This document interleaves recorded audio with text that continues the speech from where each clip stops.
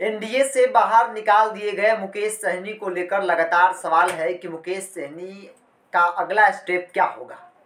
किन दलों के साथ गठबंधन होगा? कहाँ जाएँगे? क्या घर वापसी होगी? घर वापसी करने का मतलब है कि क्या महागठबंधन में जाएँगे? देखिए, अब इसको लेकर एक बयान सामने आया है।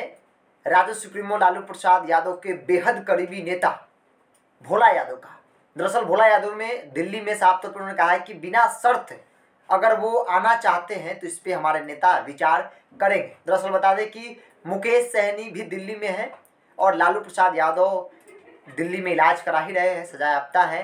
और इसको लेकर चर्चा तेज है कि मुकेश सहनी दिल्ली गए हैं, हो सकता है लालू प्रसाद यादव से उनकी मुलाकात हो सकती है।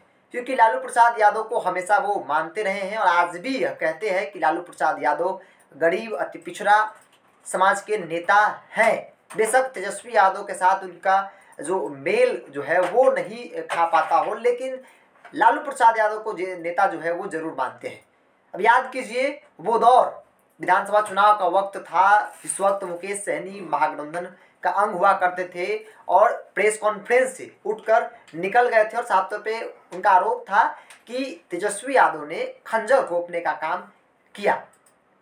उसके बाद बीजेपी के साथ गए एनडीए के साथ गए। उसके बाद एनडीए ने भी बीजेपी ने भी सीने में खंजर घोपने का काम किया। अब मुकेश सहनी को लेकर लगातार सवाल उठ रहा है बिहार की राजनीति में दो दलों को लेकर।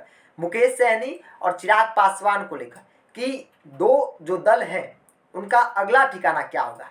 क्या तेजस्वी के साथ जाएँगे? क्योंकि ये तमाम जो दल हैं, चाहे चिराग पासवान की बात कर ली जाए, चाहे मुकेश सहनी की बात कर ली जाए, कहीं ना कहीं तेजस्वी यादव, उनकी पार्टी और उनका जो गठबंधन है उनके विचारों से मेल खाती है। तो ऐसे में एक सवाल बनता है कि बिहार की राजनीति में एक नया समीकरण जो है, वो बनने वाला होगा। तमाम जो एक सोच वाले जो दल है, मुकेश सहनी की बात कर ली जाए चिराग पासवान की बात कर लिया तेजस्वी यादव की बात कर ले सभी लोग एक मंच पे साथ आ सकते हैं, लेकिन लगातार संशय बरकरार लेकिन मुकेश सहनी दिल्ली हैं कहा जा रहा है कि लालू प्रसाद यादव से उनकी मुलाकात हो सकती है।